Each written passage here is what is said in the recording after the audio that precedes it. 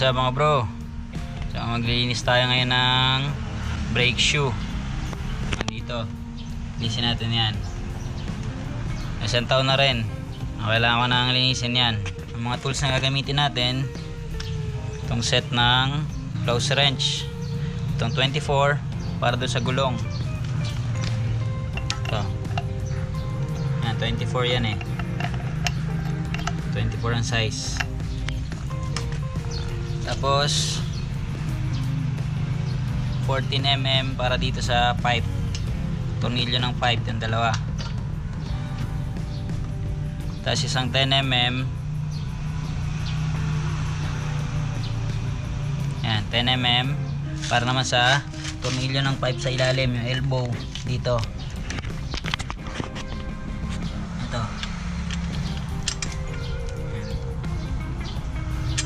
Ngayon, tong isa ang kabila. Ito, itong kabilang to. Hindi siya ubra. Kasi hindi siya, tumatama siya dito eh. Kailangan nyo gamitin dyan, T-wrench na yung mas maiksi dito. 10mm. Ito kasi mahaba, hindi rin siya ubra. Hindi siya ano, fit. Kaya mga ganito lang ang size. Wala ako nun. So mag-improvise na lang ako ng yan, 10mm na ano. Binend ko na lang. Kasi nagyan ko nito. Para lang maluwagan ko. Yan, sakto yun sa isa. Yan, pwede ko na maluwagan. Kailangan nyo na mas maiksi dito. Pwede rin to kaso mahirap eh. Ang hirap niya i-access. Ang magtatagal.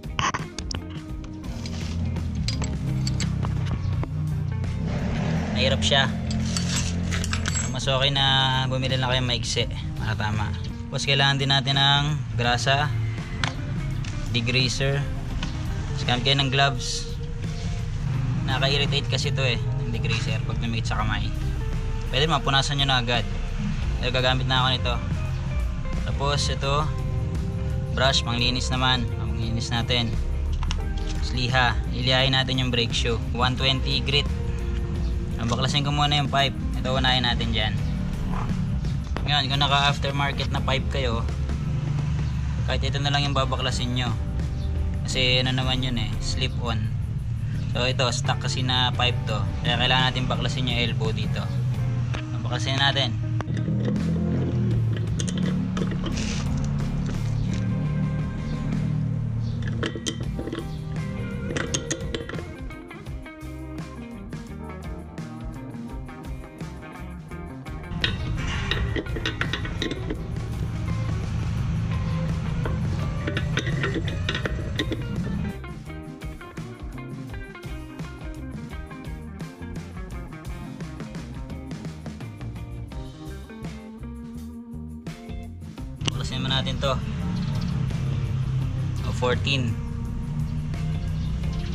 sa ilalim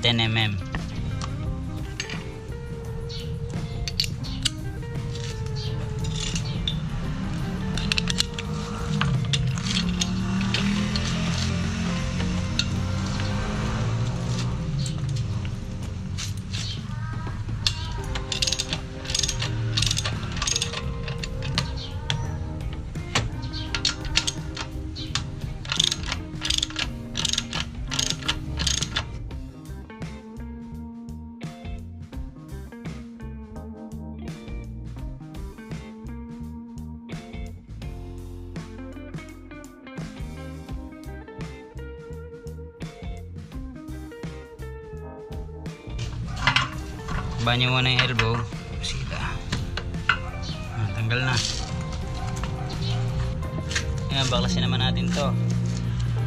24mm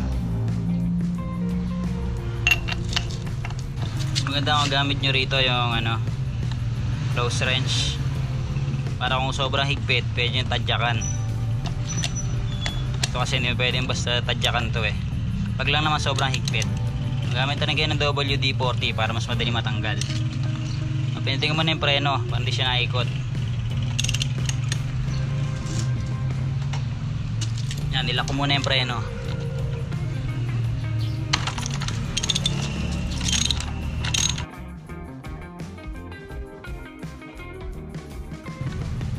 Ito na yung nut.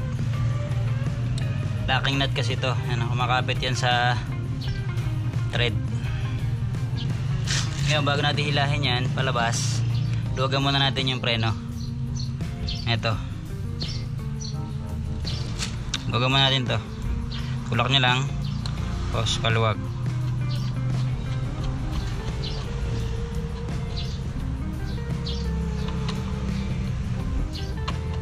yan. Ganyan lang. Pwede natin hilahin yung gulong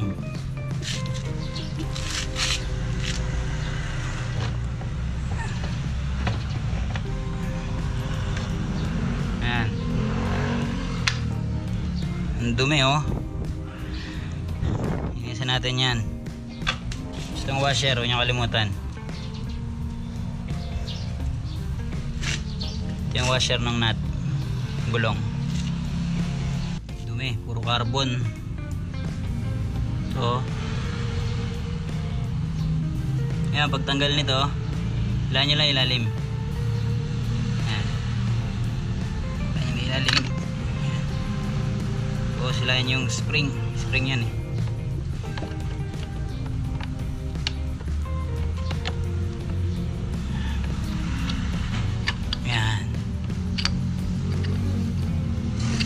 Yung spring yung nagpapakapit sa kanya. Ilinisan din natin yan. Ayan. Tapos check nyo kung makapal pa. Kasi hindi siya pumantay dito, okay pa yan. Linisan natin yan. Hilahin din natin. Brushin muna natin ng konti. para Matanggal-tanggal yung mga carbon.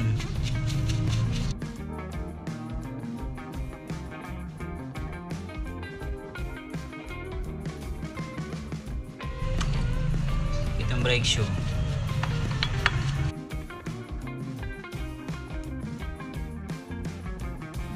Then, kapal oh.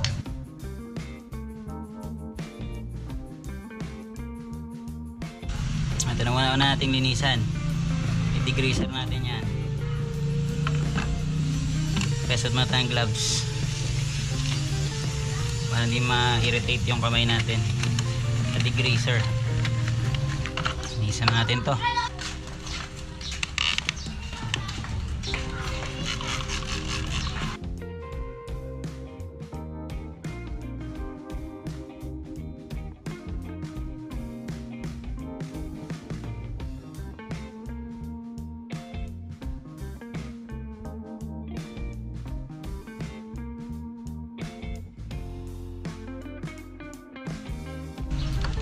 natin.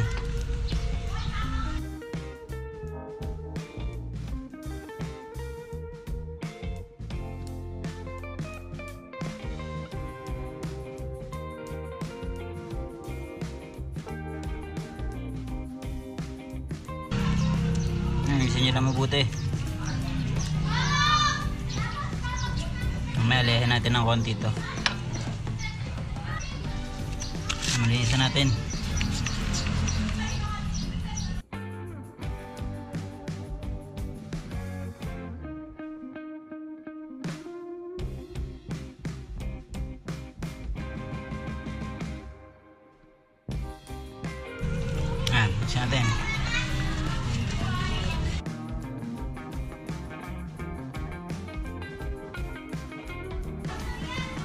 Kasi mabuti masulok-sulok.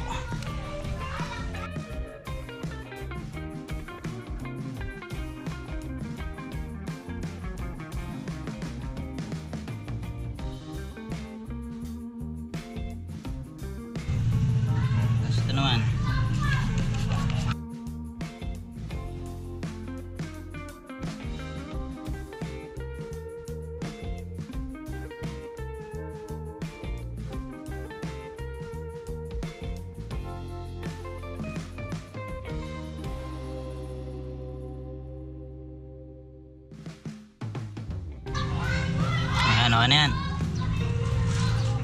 Pagaspangin na natin to. Ang dalawa. 120 grit na liha. Pagaspangin lang natin.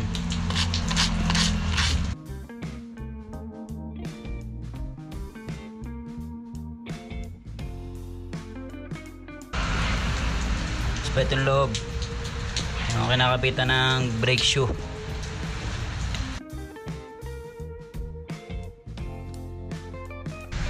Rin yan. Punasan na lang natin.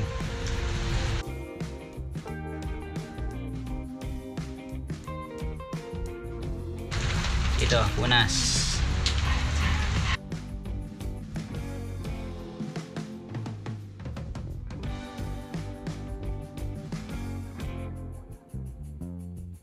Ito, hindi pala siya kalawang. Yan talaga yung kulay niya. Parang yan yung adhesive nito eh. Itong brake shoe. Ko kalawang kanina.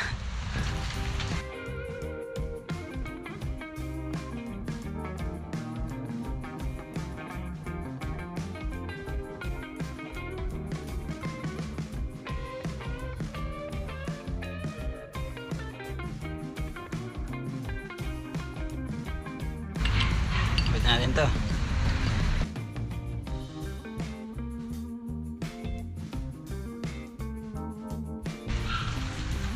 Ang pala tandaan ito, pag palitin na, kapag bakal sa bakal na siya, ibig sabihin, pag ito, upod na upod na, halos kapantay na na niya itong bakal, ito.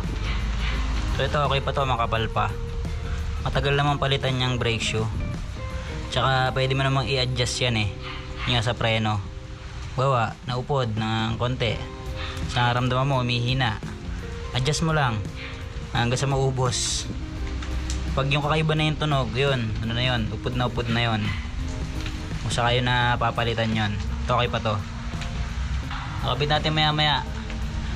Tingin ko lang tumila. Inabot kasi tayo ng ulan eh.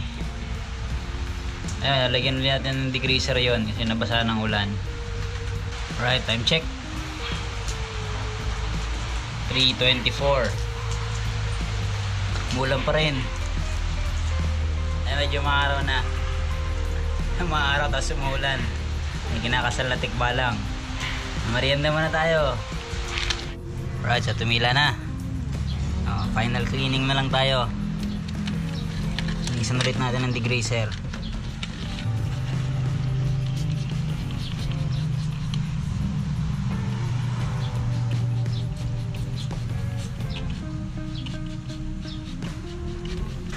Nakalimutan mag gloves ah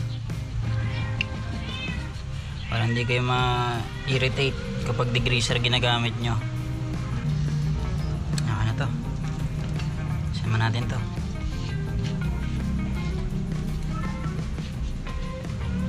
Ito naman degreaser. Kusa naman to natutuyo eh. Kaya okay din to. Ayan, check nyo rin to ha kung sa bearing. Ayan, kung may alog. Ayan, wala naman Alisan ko lang tong sa gulong. Ayan, okay na. Pwede natin kabit ang brake shoe. Bago natin kabit, lagyan natin ng konting grasa to. Tsaka ito.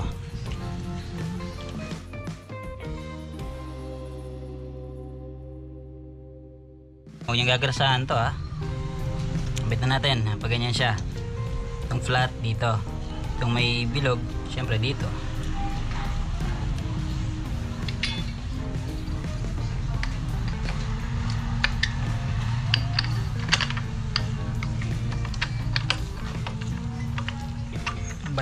Ng spring.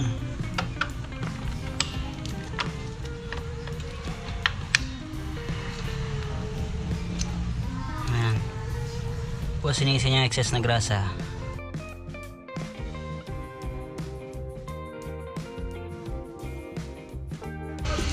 Okay na maya natin adjust to. Bit muna natin. Yung gulong. Ito na inisa ko na rin ulit ng degreaser. Final cleaning. Ayan, nalihan na yan. So, naliha ko na. Nagaspan ko ng konti. Kapit na natin.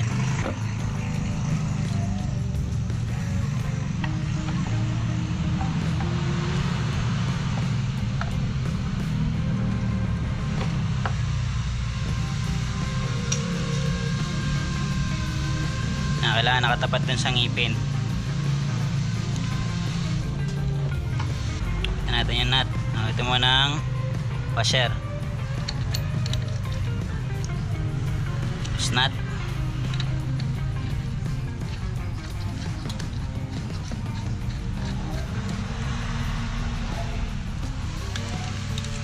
Twenty four mm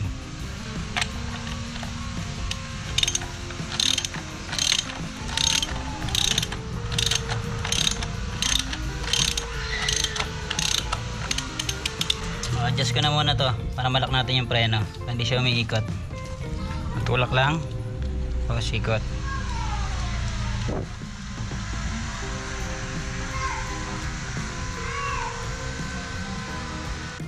Ayan, lock natin yung preno. Kaya kinigpitan para maganda yung tension.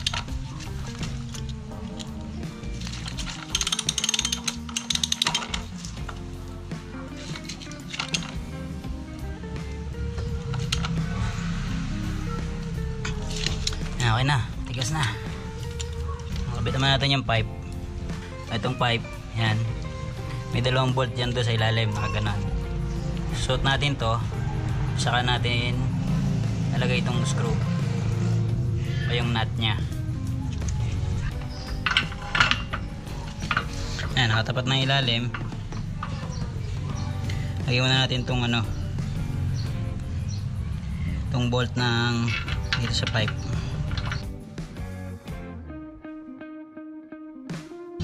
lasayan ang sukat. Okay lang magkabaliktad. Tapos kamatili tayo nito 14mm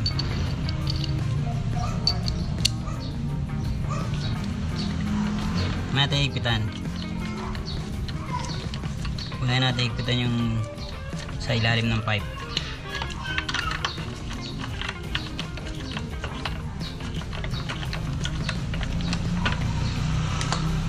Ito, abit ka 10mm.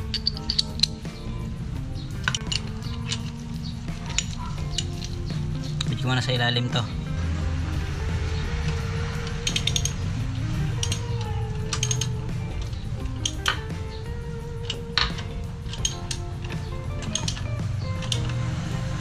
Huwag sobrang hihigpitan to ha. Mahirap to pag naputol. Kung masinsyap nyo pa yan. Saka lang. Improvise natin. 10mm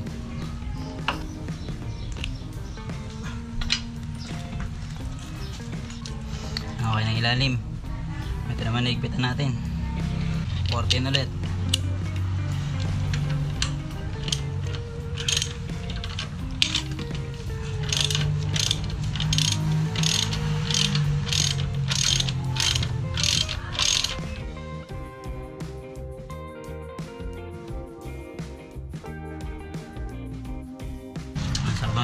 Lang din dyan. Yung sobrang higpitan kasi iba nababasagan ito eh. Manipis lang kasi ito. Yung nagkakapitan niya. Tamang higpit lang. Oh, set na lang yung tension ng preno sa likod. Ayan, na set ko na. Pantay na siya ng pressure dun sa harap. Harap likod, pantay na. Try natin.